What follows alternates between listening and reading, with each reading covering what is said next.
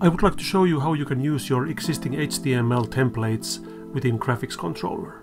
So here I have CasparCG client and CasparCG running and as you can see there is this lower third graphic on screen which has three lines of texts. Very typical stuff. So if I if I take it out take it out first and bring it back, back in you will see how it animates. And if we now let's say remove the Gotham City part and we bring it back in again it will look like this. So you know how it, how it works.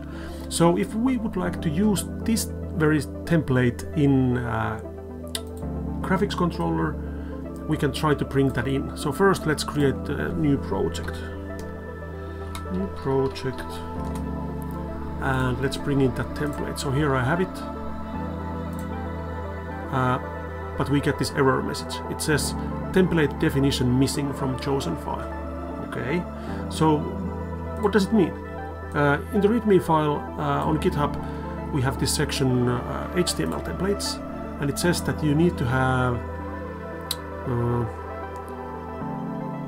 you need to have a template definition object in the templates. So here is a little snippet. Let's copy this one. Let's take it here. And here we have the source code for the template.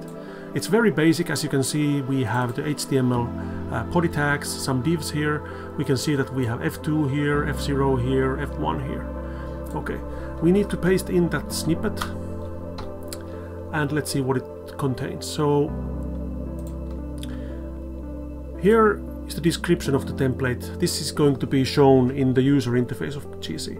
So let's call this uh, lower third three lines or something like that. And uh, server, channel layer, blah blah blah blah blah. And then we have fields. So F0, this is going to be the name. Name of person. Uh, second field, uh, actually we need to have a copy of this because we need two fields for text. So the second text field is going to be the title.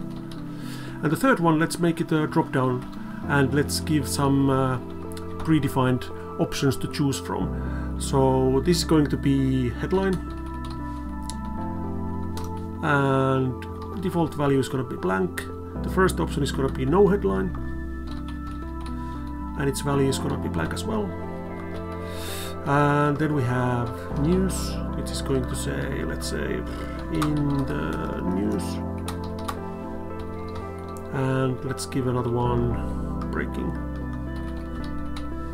And its the value is going to be breaking news come on. Breaking news okay that should do it. So let's get rid of this one and let's bring back in uh, GC here we have it, and let's try to bring that same file in again. Okay, here, here it went. And now we have uh, the description here. Go lower third, left, and let's make it green, save it. Let's go to our project, add a new rundown, new rundown since we didn't had any, and let's bring in that template. Okay, let's open it up and let's type in my name and title developer and headline news. Save take and here we have it okay so we had two graphics there going on but now we'll, if we bring it in again so you will see that it goes here in CasparCG and we can we can modify the content so we can remove the headline. And we don't have a headline or we can choose uh, news and remove the second text and try to bring that in like so. And if I want to change something in here I click update and it updates on screen if you have a typo or something while you are on air. So this is how you can uh, bring in your own HTML5 templates and just modify it slightly by mapping these fields onto uh, the actual elements what you have in HTML. Thank you.